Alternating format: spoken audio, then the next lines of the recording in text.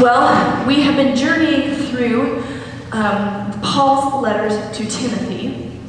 And if you've missed any of those weeks, you may have missed our conversation about um, the questions that exist about the authorship or the dating or the, the recipient that have been built over the, the centuries. There's been questions about those things. But in the midst of people's questions about authenticity, we realize we can still learn something from Scripture. That just because you have questions doesn't mean faith needs to stop, but rather we can lean into those questions and enter into dialogue and see what God has to say to us in the midst of that. So today we are diving into this last chapter in Paul's second letter to Timothy. This letter is quite different than some of the other letters we see in the New Testament, because Paul wrote a lot, because it's a personal letter. And based on the details that we see in this letter, we believe it's uh, a letter right before his execution, which um, was commanded by Emperor Nero. Um, that you can look up that guy. He was, if you watch Game of Thrones, he is the Joffrey of like emperors. Like, he was not a nice guy. If you haven't watched Game of Thrones, you have no idea what I'm talking about, and that's okay. He was not a nice guy, this is what that means. He was a mean dude. He was, um, and so he ordered Paul to be beheaded. But before that happened, this letter occurred, and Paul is writing some final thoughts to his companion Timothy and what I like about the end of this letter is we see a hint of Paul's humanity here. Um, if, we, if we call this letter Paul's, we see something about the realness of people and their growth in God, even in the midst of their struggles.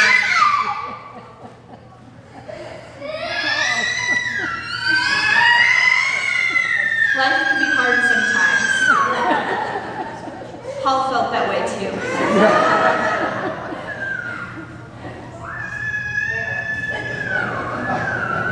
Jay's making symbols at me and I don't know what he's talking about. so, um, life can be hard sometimes, and Paul felt that way as he was wrapping up and realizing his life was coming to an end. Um, that this was the last of what he might be able to say to Timothy. And we are going to be diving into 2 Timothy chapter 4 and seeing two different uh, chunks here where Paul um, reveals his humanity through some humble brags and some vengeful forgiveness, um, showing a paradox of what it means to be a believer and a work in progress. So, as we open up our scriptures today, I hope that we also can relate to Paul's story and to see that some humanity in the people around us and our own work in progress.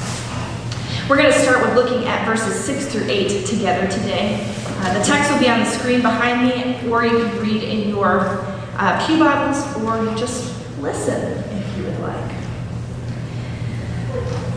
I'm already being poured out like a sacrifice to God, and the time of my death is near. I have fought the good fight, finished the race, and kept the faith. At last, the champion's wreath is awarded for righteousness is waiting for me. The Lord, who is the righteous judge, is going to give it to me on that day. He's giving it not only to me, but also to all those who have set their heart on waiting for his appearance. Our scripture for today starts out with Paul having what seems to be a little bit of a pat on the back. Like, I've done such a good job. Like, go me. I've done great. And when you look at the Bible and the fact that he was included, his letters were included in so much, he did a lot of work for the church, which is only one part of his story because he also tried to kill Christians before he started working for Christ. His story is perplexing, um, in, but this humble brag isn't just about him he roots it back to I did like I've, I've struggled, I've wrestled, and I'm here at the end. But this struggling and wrestling um, and waiting for the prize is not just for me, it's for anybody who has joined me in this struggle and wrestle for Christ and for truth. That anyone who has set their heart on Christ will receive the same award. We see this warm, fuzzy moment of Paul reflecting and saying some good things, probably through rose colored glasses. And then in the next section, we won't read it today, uh, verses 9 through 15, it has this mixture of, once again, humanity, but some um, contradictions to it too. Paul's like, hey, Timothy, can you come visit me? Bring me my coat and my scrolls and this, that, and the other. But there's also this guy that was a jerk, and I hope God judges him harshly. Like, you fought the good fight, right, Paul? Like, but also, that guy was a butthead to me, so I don't want God to like him anymore. And then, so we have this humble brag, we have this moment of seeing his struggles with others that he interacts with.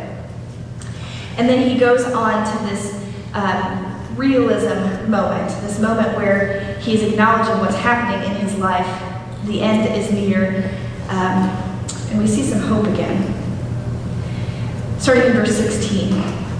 No one took my side at my first court hearing. Everyone deserted me. I hope that God doesn't hold it against them. But the Lord stood by me and gave me strength, so that the entire message would be preached through me, and so all the nations could hear it. I was also rescued from the lion's mouth. The Lord will rescue me from every evil action and will save me for his heavenly kingdom. To him be the glory forever and ever, always. Amen. So Paul um, went from his humble brag moment and this moment of rather vengeance in the passage we didn't read and then he shifts to a place of saying, I, I was abandoned, I was left alone here. Because of that, I'm about to be executed. But I ask God to not hold it against them. That though they left me astray, God don't hold it against them. And in that moment, part of me is wanting to know, like, okay, so Paul, do you mean don't hold it against them, including that guy that you just said that you want God to judge harshly? Or are we seeing a moment of Paul's realness where he's going, oh yeah, I'm supposed to forgive the people who hurt me. Will you help me, God? Like, because that's not always easy. Especially when you're watching your impending doom come up, like Paul was. Don't hold it against them.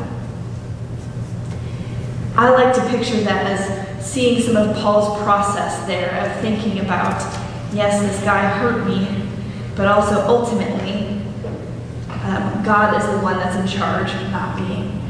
I don't know about you, but that's a very humanizing moment because we have those times of prayer in the middle of church, and sometimes I, it's like submitting like a work ticket to God. Like, I have ideas for how you can solve my problems. Here you go, here's my ideas. And there's Paul doing the same thing in this letter. Like, God, just, just smite this guy because he hurt me like, here you go, but also, like, I recognize that you are just and good and loving. Like, this is just a suggestion, you know, this is just my idea here of what I think is just. But then he points at the end. Um, this is the last words we hear from him before he gives some final, like, tell that person hello for me um, verses, where he's saying, ultimately, to God be the glory. I have ideas of what I want to be done, but ultimately, make sure things are pointing back to God, pointing back to Him, not to myself.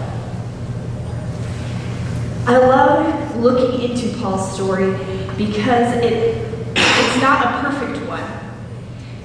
Um, Paul has become a pillar in the church um, and one of the early church fathers, but his story was not perfect. As we talked about a little bit ago, um, he was somebody who persecuted the church. At that time, he was still going by Saul, which Saul and Paul are like the difference between Mary and Maria, just different translations of the same name. And he was a Pharisee, and you read in other letters that he calls himself the Pharisee of all Pharisees. They loved God's word, but they loved the letters of the word, not the essence of it. They were good at following the the letters, but missed the bigger picture of what God intended. And Paul was so faithful to those words that he forgot, like, oh, the people in front of me are God's children too, to the point where he was ready to kill Christians because they were hurting the law. God, Jesus accosted him on the road to Damascus and was like, Paul, what are you doing? Why are you persecuting me and my people? Like, we're on the same side here, buddy.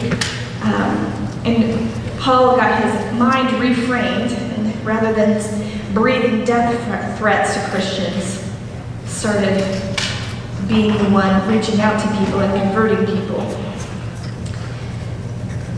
Paul fit the image of a man who is deeply devoted to God, but who was desperately missing the point of what God wanted from him.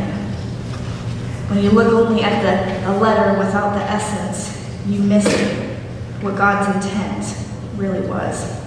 In our scripture reading for today, we heard Jesus' parable about a Pharisee and a tax collector.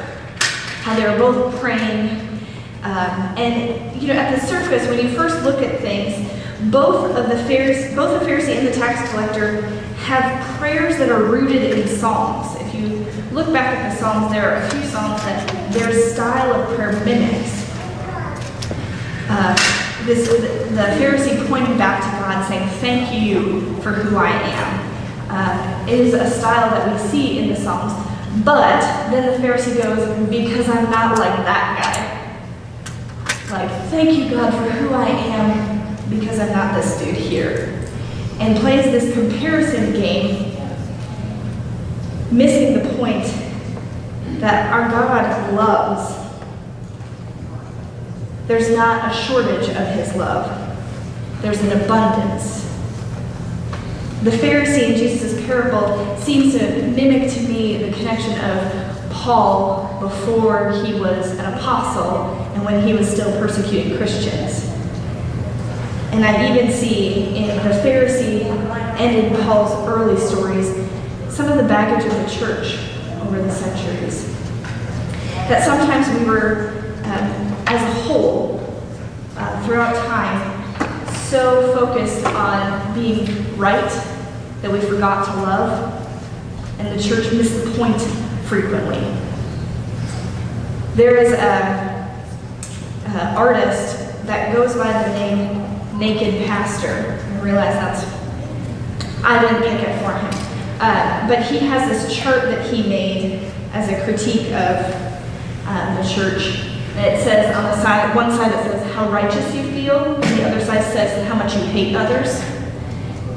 And notice how it's going directly up. The more righteous you feel, not, not how you are, the, the more like judgmental you become the more you're like, wow, I'm really awesome, that person's terrible. This is a critique of the church that we see in culture today. That we, when we miss the point of what God's telling us, we become uh, people who play a comparison game and compete for God's love, thinking that it's going to run out instead of recognizing the abundance of it and that it's there's enough for everybody. It doesn't have to be like a, God loves me because I am really good at prayer. I say fancy words during prayer, and that, like I have all my epistemology right down, and I know like I, I can use all the fancy five dollar words in prayer, and so God obviously loves me more. That person, I heard that person use a cuss word during prayer. God must love them less. Like, heaven forbid. When in reality, no, no prayer is about, I want your heart. I want what's going on inside of you in that moment. I want reverence in prayer is about being your true self with God and not putting up a front with Him. And so, if that meant they needed to use a cuss word in that moment, if that meant that they were exposing their true selves to God in that moment, maybe that was exactly what needed to happen. Comparison is the thief of joy. And when we seem to look at Scripture to validate ourselves and look at other parts of Scripture to unvalidate others, we're missing it. But it's just like Paul's story, there's more to our story. We see Paul's story is a work in progress. Even in that passage we read today, there's a part where he's like patting himself on the back. There's a part where he's like super angry about a person, and then we see him going, wait, wait, wait, Jesus, like that's the point. Like, we want, like, ultimately God's glory, not what I want, God's glory. And in that same sense, we are each a work in progress. The people next to you, feel free to look to the side. Or not, you can just stand there like statues, that's fine too. The people next to you are a work in progress. We're not done yet. And there's enough of God's love to go around that we don't need to play the comparison game to compete to see who gets God's love. It's okay if they're not where you are and where you, and you aren't where they are. We're all in this healing, redemptive process together. Paul points back to this idea that those who cling to Jesus, who are waiting on Jesus, will receive the prize. It's not those who are, you know, finally perfected how to be angry but not cuss.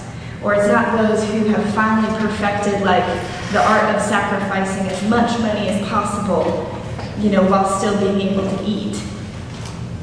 There's not like prerequisites here, but those who cling to the love of Jesus will receive the prize.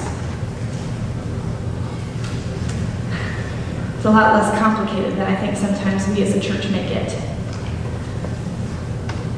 Goal isn't a comparison to compete for God's love.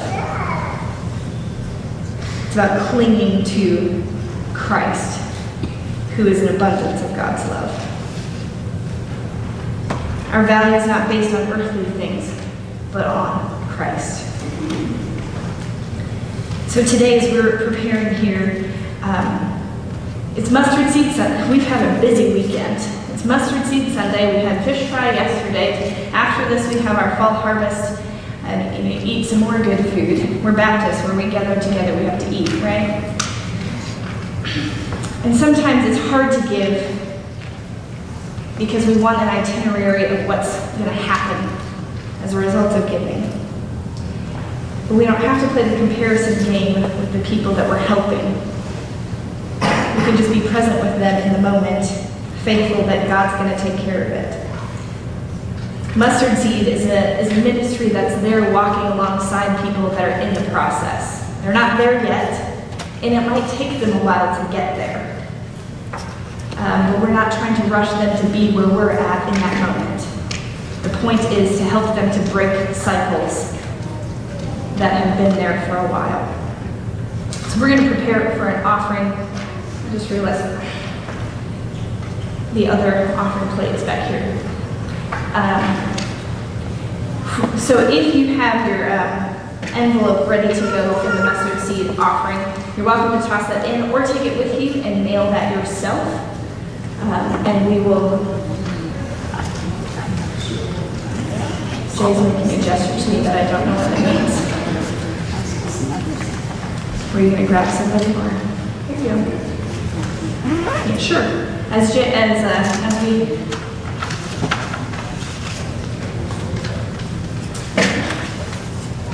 Jay has a plate. He'll receive the, the offerings when we get a chance. But um, as we think about this, we remember that God's got enough love to go around, and as we are a work in progress, we can still love each other in the midst of that. We don't have to play the comparison game. Um, we can celebrate the moments that we're doing well, but also recognize that we're still a work in progress, much like Paul's letter has a little bit of both in there. And give ourselves a little bit of grace and each other a little bit of grace as we work through this. Let's join together in prayer. God, we thank you so much for the gift of your grace that. Um, that I don't have to be perfect in this moment, um, but that you love us fully and wholly as we are right now. Lord, we thank you for the gift of Jesus and the gift of your Spirit, that we don't have to stay where we are right now, but can be healed and redeemed as we go throughout our walk with you. Lord, we pray that we develop a craving and a hunger for your love and your Spirit transforming us. That as we pursue you, you continue that work inside of us, that we are not the same as we once were, but are made more into the people you built us to be. And that we can remain faithful to you no matter what circumstances are thrown our way. In your name we pray. Amen. Ask you to stand and join hands. We close our service by saying, Blessed, blessed be the tie.